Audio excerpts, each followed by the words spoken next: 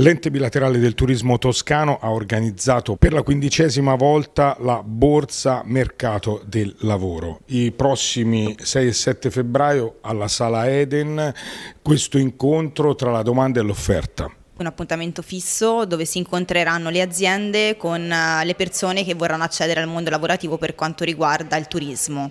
Quindi ci saranno circa 145 aziende divise in due giornate e si parla di circa 500 aspiranti lavoratori. C'è richiesta di manodopera, c'è richiesta di professionisti, c'è richiesta di personale qualificato. Come ogni anno sicuramente viene rinnovato il contratto stagionale e quindi c'è molta richiesta, soprattutto per le profilazioni alte, quindi si parla di chef de rang, chef normali e comunque tutte quelle posizioni lavorative che servono poi all'interno di tutte le aziende, quindi camerieri e camerieri ai piani sicuramente. Non è stato il reddito cittadinanza, è stato uno dei mezzi con cui i lavoratori sono fuggiti da un mondo del lavoro che è sempre più precario e che purtroppo dà sempre meno garanzie. Per questo l'ente bilaterale come presidio di legalità eh, si è sempre impegnato appunto e quest'anno ancora di più per garantire dei contratti di lavoro che siano corretti, che, che garantiscono la retribuzione, i giorni di riposo e che diano anche certezza di una, di una continuità lavorativa nel futuro. Quant'è la forza lavoro che manca in provincia di Grosseto? È tanta sia in quantità che in qualità perché in questi anni si è appunto perso attrattività eh, del, del settore. Bisognerebbe che invece tutti gli operatori ma anche e soprattutto chi ha in mano le leve politiche e amministrative facesse veramente joint